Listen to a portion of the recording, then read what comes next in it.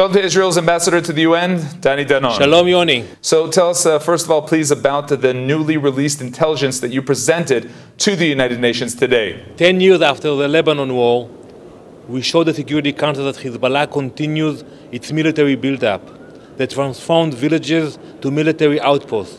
Today, we shared intelligence information that we got from the IDF with the Security Council, and we asked the Security Council to take action against Hezbollah and not to allow Hezbollah to continue its build-up. It's only a matter of time until they will use those missiles against Israeli civilians. And we will do whatever is necessary to protect our people. But what is the goal, Ambassador Danon? Who and how can you influence? Here at the UN, we know that it's not easy, but we show the information because we believe that you cannot argue with the facts.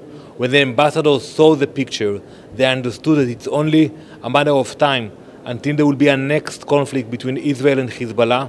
And when we will have to retaliate and to defend our citizens, unfortunately, we will have to damage those villages. Today, we expect them to take action and to avoid the consequences of such a confrontation. Now, tell me, please, uh, Ambassador Danon, after some time in your position in the United Nations, how would you define the role of the ambassador of Israel to the United Nations? Is it mainly damage control, or is there a potential to actually make a difference through this international body? I came here to the UN to fight, to present the truth, to protect Israel, and we're doing it day in and day out, and sometimes we also have victories. A few weeks ago, I was elected to head the sixth committee, the legal committee of the UN.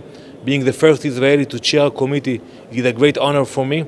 And I think we should believe that we can do more here in the UN. We should not be afraid. We are very proud to be a strong democracy and a full member state of the UN. Ambassador Danny Danon, thank you very much for joining us. Thank you very much, Yoni.